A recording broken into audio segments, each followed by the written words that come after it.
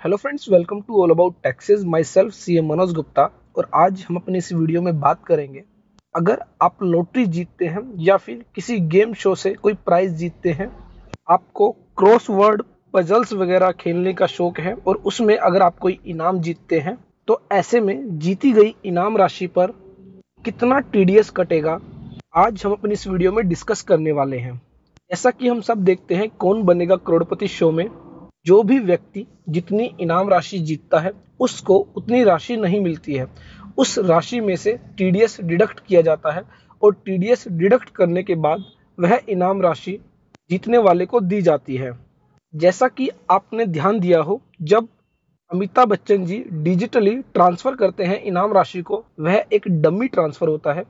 जबकि actual payment जो की जाती है, वह टीडीएस डिडक्ट करने के बाद की जाती है। तो ऐसे में ध्यान रखें, अगर आप कोई भी लॉटरी जीतते हैं, या फिर क्रॉसवर्ड पजल से कोई प्राइज जीतते हैं, या फिर किसी गेम शो से कोई प्राइज जीतते हैं, इन सभी इनाम राशि को देते हुए सबसे पहले टीडीएस डिडक्ट किया जाता है और उसके बाद बैलेंस अमाउंट की पेमेंट आपको की जाती है।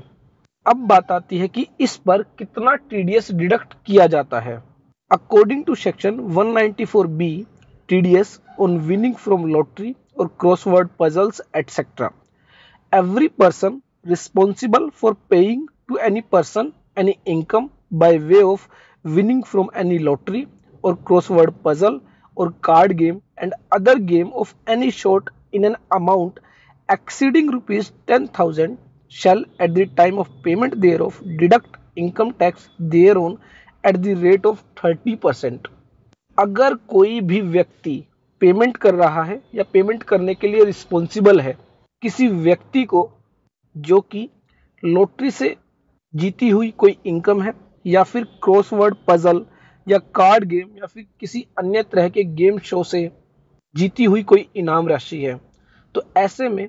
जो भी व्यक्ति इस पेमेंट को करने के लिए रिस्पॉन्सिबल है, वह व्यक्ति पेमेंट करते हुए 30 परसेंट का टीडीएस डिडक्ट करेगा और बैलेंस 70 परसेंट विनर को दिया जाएगा। फॉर एग्ज़ाम्पल अगर कोई व्यक्ति एक लाख रुपए की लॉटरी जीतता है तो ऐसे में जो भी व्यक्ति एक लाख रुपए देने के लिए लाइबल है, वह व्यक्ति थर्टी परसेंट का टीडीएस डिडक्ट करेगा, तीस हज़ार रुपये का टीडीएस डिडक्ट करके गवर्नमेंट को डिपॉजिट कराएगा और बैलेंस अमाउंट सेवेंटी थाउज़ेंड जीतने वाले को दे देगा। यहाँ पर आपको ध्यान रखना है, अगर जीता गया इनाम दस हज़ार रुपये से कम है या फिर दस हज़ार रुपये है, लेकिन दस हज़ार रुपये से ज़्यादा नहीं है तो ऐसे में कोई भी टीडीएस डिडक्ट नहीं किया जाएगा। यहाँ पर ध्यान रखें, किसी भी गेम शो में अगर कोई प्राइज राशि दी जा रही है तो दिए जाने वाला चेक या फिर डिजिटल ट्रांसफ़र होता है, वह एक डमी ट्रांसफ़र होता है या फिर डमी चेक होता है। एक्चुअल जो पेमेंट की जाती है, वह 30 परसेंट टी डिडक्ट करने के बाद दी जाती है। अब यहाँ पर एक बात आती है, अगर इनाम में कोई वस्तु जीती जाती है।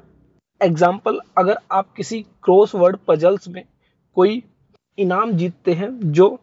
कि एक फ्रिज है, जिसकी मार्केट वैल्यू तीस हज़ार रुपये है तो ऐसे में सामने वाला जो भी व्यक्ति वह इनाम दे रहा है, वह आपको इनाम में दिए जाने वाले फ्रिज से पहले उस पर जो भी टैक्स बनता है थर्टी परसेंट का, जो कि नौ हज़ार रुपये होता है, अगर हम फ्रिज की वैल्यू तीस हज़ार रुपये लेते हैं तो ऐसे में यहाँ पर थर्टी परसेंट नौ हज़ार रुपये टी बनता है। तो यहाँ पर इनाम में दिए जाने वाले फ्रिज से पहले यह इंश्योर किया जाएगा कि नौ हज़ार रुपये का टैक्स जीतने वाले के द्वारा जमा करा दिया गया है।